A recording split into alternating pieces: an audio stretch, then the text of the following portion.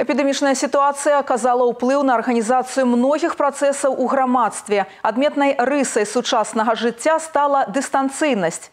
Скараціць колькасць фізічных кантактаў верны спосаб засцерагчы сябе ад заражэння. Калі ёсць магчымасць, людзі імкнуцца вырашаць пытанні надлегласці, не толькі бытавыя, але і рабочыя. Наколькі гэта эфектыўна, у чым плюсы і мінусы дыстанцыйнага рэгулявання працы.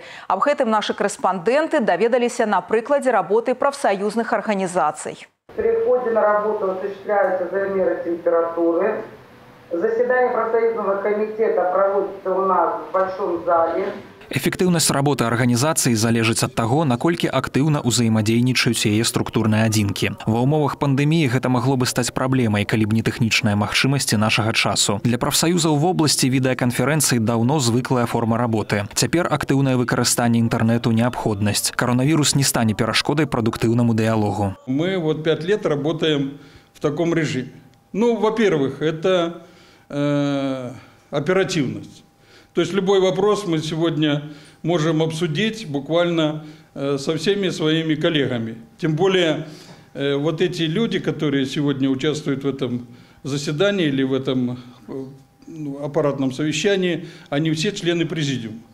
И если возникает вопрос оперативно принять какое-то решение, ну, законность его, потому что ну, есть такое понятие, как в рабочем порядке. Вот он принимается моментально. Новаўвядзенне ў рабоце прафсаюза таксама ёсць. Месенджеры з магчымасцю відэачата сапраўдная знаходка для інспектавання па пытаннях аховы працы. На працягу аднаго відэазванка спецыяліст можа пагутарыць з калегамі, агледзець умовы вытворчасці на прадпрыемстве, ацаніць выкананне рабочымі правілаў бяспекі. В этом режиме мы можем проверять, э, как э, организовывать плановые проверки, мониторинги осуществления общественного контроля.